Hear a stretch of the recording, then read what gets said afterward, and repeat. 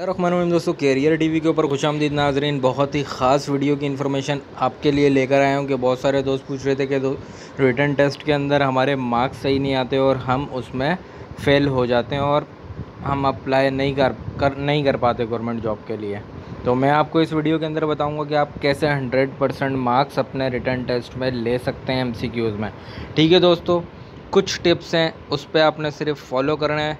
और पाँच छः स्टेप हैं जिन पे आपकी कमांड अच्छी होनी चाहिए। ठीक है दोस्तों, आप हंड्रेड परसेंट इसके अंदर एम में कामयाबी हासिल कर सकते हैं। भले वो टेस्ट एफआईए का हो मोटरवे का हो सीएसएस का हो या फिर एन टी का हो। ठीक है दोस्तों, भले ओटीएस का हो हंड्रेड परसेंट गारंटेड रिज़ल्ट है इसका। अच्छा दोस्तों, उससे पहले वीडियो शुरू होने से पहले मेरी आपसे छोटी सी रिक्वेस्ट है कि मेरे चैनल को सब्सक्राइब कर लें और साथ में लगे बेल आइकन को ज़रूर दबा दें।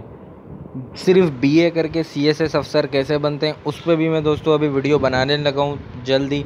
लेकिन पहले हम इसके ऊपर बात कर लेते हैं कि हम एफ़ और छोटे मोटे डिपार्टमेंट में कैसे जॉब हासिल कर सकते हैं। दोस्तों, पहला जो कमांड है, उसका नाम है करंट अफेयर्स जो अभी हमारे मुल्क के मौजूदा हालात चल रहे हैं, उससे हमें बिल्कुल नॉलेज हो जानी रहनी चाहिए।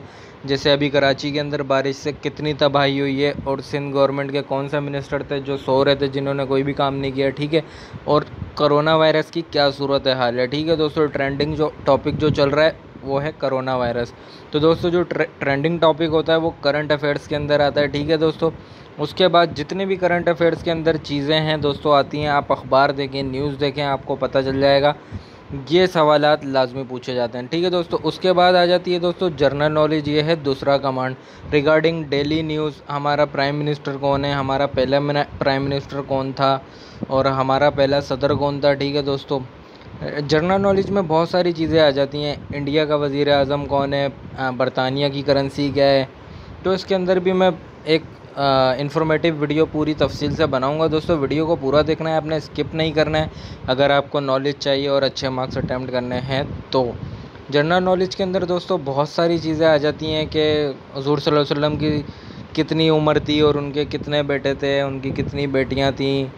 हज कौन सी हिजरी के अंदर उसमें आया, हुआ और बहुत सारी चीज़ें आ जाती हैं। दोस्तों, इसके मैं अभी इसके पास्ट पेपर्स भी अपलोड करूँगा एफ़ के। इसी चैनल पे।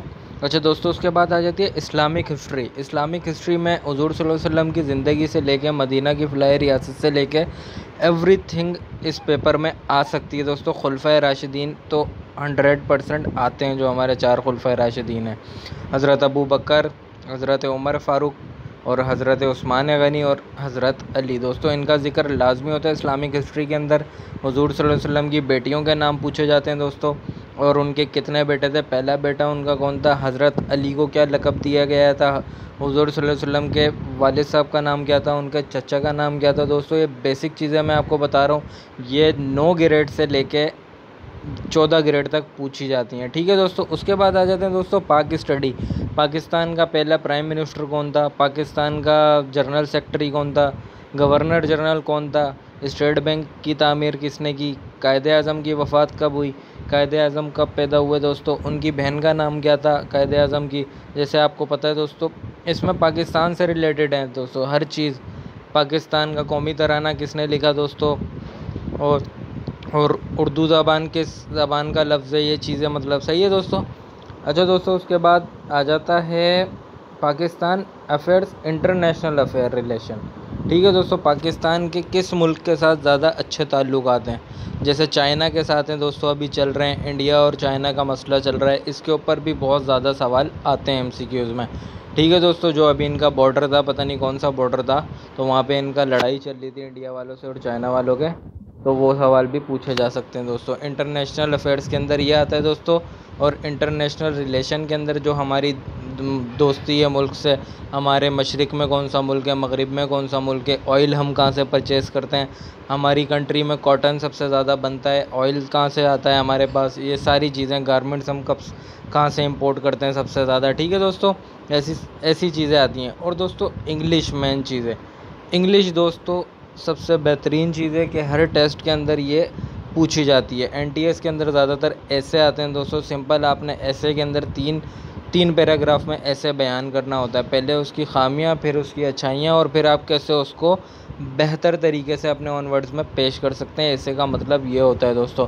और भी बहुत सारी चीज़ें होती हैं दोस्तों। वर्ब्स वगैरह होते हैं फिलिंदा ब्लैंक्स होती हैं सिनोनियम्स एंटोनियम्स वगैरह होते हैं। इसके ऊपर भी मैं तफसीली वीडियो बनाऊँगा कि बहरहाल मेन चीज़ जो होती है वो फिलिंदा ब्लैंक्स और ऐसे होते हैं। ठीक है दोस्तों, इसी से ज़्यादा मार्क्स एनटीएस देता है।